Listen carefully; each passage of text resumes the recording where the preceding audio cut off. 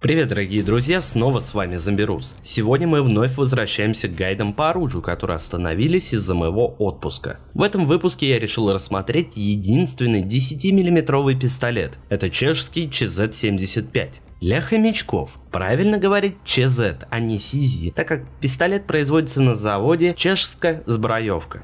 ЧЗ-75 производится с 76 года. Используется во многих странах как некий аналог М9. Он очень популярен в Соединенных Штатах Америки у полицейских и спецподразделений. Но в отличие от итальянца считается более перспективным и надежным пистолетом. Также другие производители берут за основу этот пистолет. Например, израильская фирма IMI делает на основе ЧЗ-75 свой мини- Deagle под 9 миллиметровый патрон, который несет имя Jericho 941. В серии игр Battlefield этот пистолет впервые появился в Battlefield 4. По классификации этот пистолет принадлежит подклассу 9 мм. Его конкурентами считается М9, Грач и P226, хотя используют патрон 40 калибра Smith Wesson. Для открытия этого чеха вам потребуется набрать 45 тысяч очков с помощью пистолета. Среди всех 9-миллиметровых пистолетов, на мой взгляд, ЧЗ-75 самый интересный. Он обладает совершенно иной моделью урона, другой отдачей и темпом стрельбы. Если тот же Грач или М9 наносит максимально 27, минимально 12,1, то ЧЗ нам показывают совершенно иные характеристики. Максимальный урон 30, минимальный 14,1. Это все благодаря патрону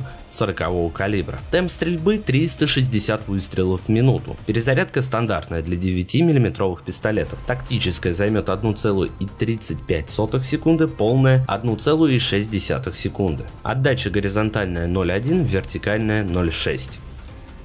Благодаря патрону СВ-40 ЧЗ-75 можно считать неким мостиком между крупнокалиберными пистолетами и пистолетами, которые используют классический парабеллум. Несмотря на вышесказанное, ЧЗ-75 нельзя назвать слабым пистолетом, который не может конкурировать с тем же М1911 или М9. Он бьет абсолютно все. Например, крупнокалиберные пистолеты проигрывают по скорости перезарядки и темпу стрельбы. 9-миллиметровые собратья, может и стреляют быстрее, но на практике вы этого не заметите, если только вы не разносите десяток вражеских крипов за пару секунд. Так что темп стрельбы, который ниже на 40 выстрелов в минуту, нельзя назвать откровенным минусом. В минус можно отнести только маленький магазин на 12 патронов, но это тоже спорный момент, так как сейчас в игре популярен исключительно Дигл. А Дигл чизы перестреливают спокойно, все же темп стрельбы и магазин на 12 патронов дают о себе знать. Для более результативной игры вам потребуется поставить следующие модули. Прицел. Тут все просто. Мушка на CZ75 очень информативная и удобная, даже для поражения противника на дистанции. Так что выбор у нас тут богатый. Ставьте что хотите. Аксессуары.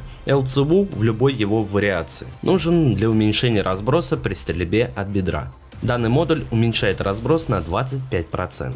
Дульная насадка зависит только от ваших предпочтений. Глушитель для любителей стелса, пустой ствол для большинства, или же, если вам не нравится вертикальная отдача, которая выше, чем у собратьев, ставим дульный тормоз, который в свою очередь избавит нас от 25% отдачи.